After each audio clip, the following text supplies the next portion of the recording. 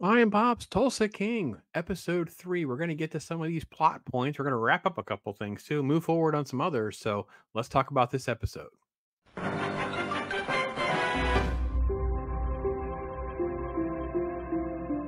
All right, I am Pops. Been going through Tulsa King season two. Really enjoyed the show as a whole, but I do think there's a major step down in season two.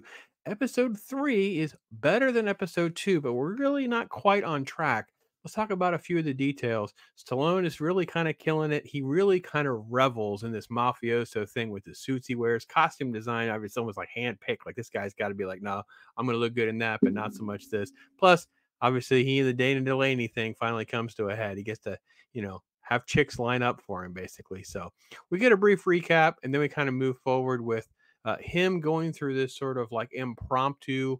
Uh, uh, pitch to basically the weed group, man. It's like it's his posse. They're in the weed store. A couple of them are actually high as he's doing his like closing argument. He's going to he's going to trial. He's got to face charges for all this stuff, and they're pitching him on all this. And I don't know. It was all right. It's fine. It was a little set up for more of a laugh than anything else.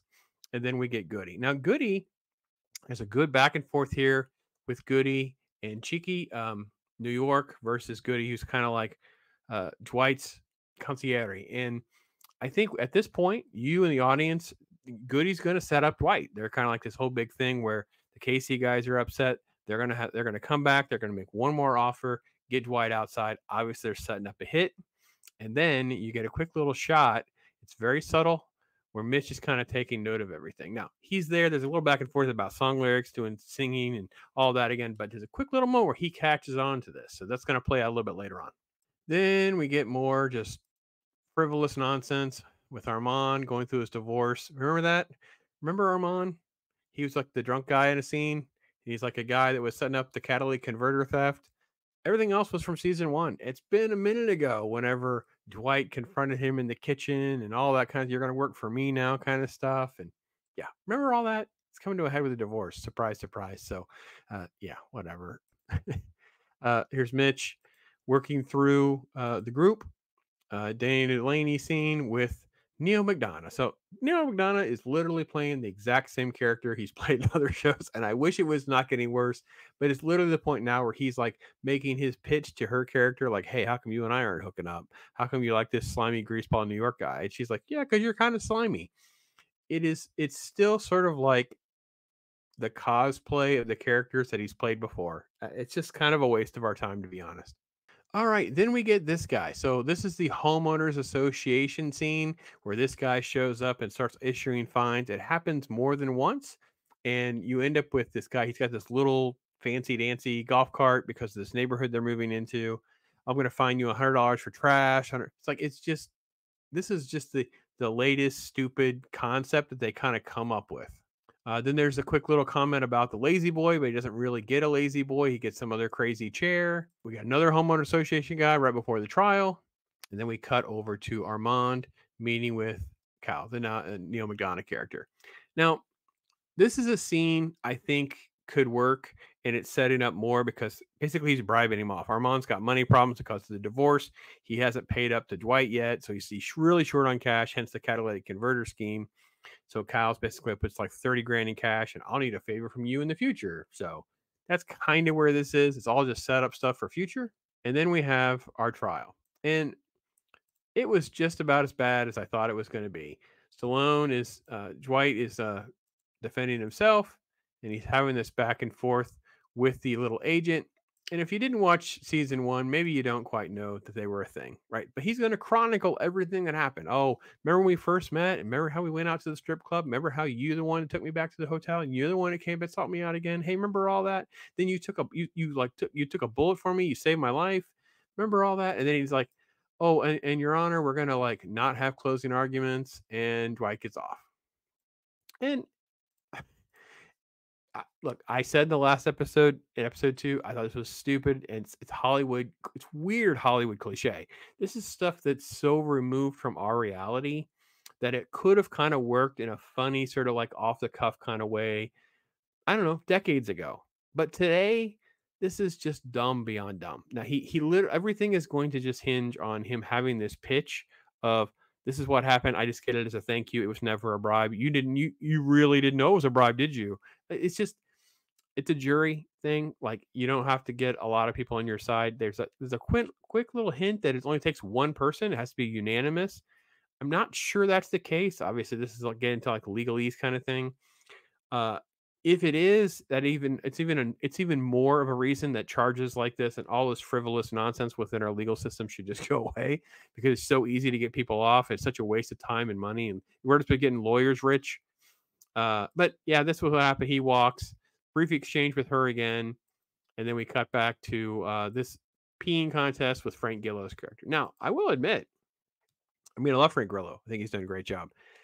He doesn't quite pull off any mafioso, even cowboy mafioso in this. And I don't know why I'm kind of let down because he's not terrible, but I don't. Is it mean you guys have to help me out with this one? I feel like Frank Grillo's character needs to have more weight about him. He only has one guy. He only has his one right guy. I feel like there's no thugs. He doesn't dress like he dresses more like a farmhand rather than a mafioso guy. So Dwight basically is just telling him, "No, I'm not doing anything," and just pee off that's all. And there's all this going to be like tension between them because it's going to come to a head. Then they got to go back to court. They find out the verdict, of course, and then of course he wins. And um, this is them telling the AG has to make the phone call to the slimy. Uh, word gets out basically through every all, all the buzz that the, everybody got off. Nothing's going to happen to Dwight. That runs all the way to New York. And they're going to put out the hit. Oh, this is the oh, here's the here's the rest of the gag now, right? So all the setup with him coming out and bothering him now it's oh he sees on the news that he's actually a mafia guy, so he comes. Oh, doesn't don't worry about those fines. Complete waste of our time uh, with that as well. Another singing scene with Garrett Hedlund, which I did look up. Garrett Hedlund actually is singing. So uh, kudos to him. I think he really, really is good in this. I don't think he's doing original music. I think he's just doing covers. But uh, I saw a little quick little. I looked up briefly after the last episode because I think he was actually pretty good. And then there's a quick little uh, setup now with Goody that uh, that's going to come to a head with the Kansas City thing. They want to have their meeting, and that's how the episode's going to go. Now, I want to give you a spoiler warning here if you don't want the spoiler, because at this point there's a spoiler at the very end of this episode. Overall, episodes one through three should have been just two episodes. There's so much fluff. There's so much wasted time that's not character development. Having Dwight be the butt of jokes in the end of last episode with Jelly Roll, having all this back and forth with the homeowner association, two, three minutes spent on the chair, two, three minutes spent bickering with the sister. We're not developing character, we're just doing things. It's just stuff that's happening. It's like this is not a reality show. This is a drama. And if we're to have drama, characters have to move forward in stories. We barely have seen Goody interact with anything other than the phone, and now suddenly he's relevant to this final scene. Like we really don't know much about any of the guys in the gang other than just kind of like having little jabs and jokes and whatever, other than like maybe one scene, maybe two scenes at the most. Like, so we're not getting character development in the show. It's such a major letdown from where we were in the first season, where so much more time was spent moving the other characters along as well. And this one just hasn't had it. So these two episodes, these three episodes really should have been two because we just didn't need any of that extra extra junk. It's just a waste of time. With that, that's just your last spoiler warning for the end of this episode because it is sort of like the big hitch of kind of how to move forward now with the season because things have to kind of come to a head. Like we dealt with the legal stuff, we got the stuff with them moving in, the homeowner association gags, all that kind of stuff. The Cal guys, he's ticked off. He's not going to get Delany, but now this now Dwight's bedding Dana Delany and the FBI agent, FBI agent lady. She's basically out. So we've kind of like moved different characters around and done different things before we get to the Kansas City thing. All right, so it comes out. Here's the big Kansas City guy. He's there. And basically, with the phone call from earlier with Goody, you see Goody pull his knife out very quickly. And they're going to go in. You think they're going to go in for Dwight at the last second. Bigfoot comes behind him, grabs him by the head. And that's where they take care of business. They take care of everything. Goody was actually in on uh, uh, telling Dwight what was actually going on. This is all known. So here's the setup with the knife. And this was the big twist the gun's going to come out, everything's going to happen, and they take care of business. So it ends, of course, with them delivering. There's a Delany moment I told you about, and they deliver the plastic bag there at the gates for this guy to find, and he's obviously angry. He's going to want revenge. So pretty good ending. They gave us that, but like I said, there's just so much wasted time. This is like Disney type stuff. Content for the sake of content. Like, don't waste my time. Your shows are better than this. Like, tighten this up. Like I said, three episodes should have been two. Move things along. Don't give me some of this frivolous stuff, chasing rabbits, and it's just not. We don't care about all that. We want the Kansas City stuff. We want the stress, and Dwight being these jokes. These silly jokes are not landing. The jokes in season one, what worked with season one, I think, so well, especially in the first part. Even though I thought it was slow, it was Dwight having that old school mentality, being the fish out of water. Was who talks like this? Who listens to music like this? You're not a man. Like all of that type of old school stuff, that masculinity stuff excuse me, and it walked that line between like being like the toxic male. This season is just it's like all gags, and I there's it's not nearly as engaging or as interesting. There's no social commentary. What homeowner associations are bad? Oh, okay. Uh, yeah, I don't know. Overall, show is good. Uh, a major step down from season one to season two.